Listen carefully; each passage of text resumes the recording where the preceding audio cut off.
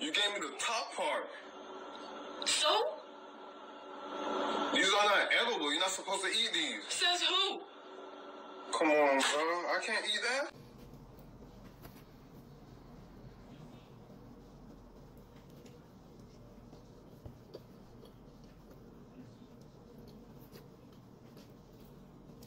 topics.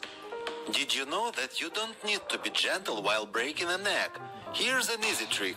Just throw it into a bowl and pull the shell out. The yolk remains intact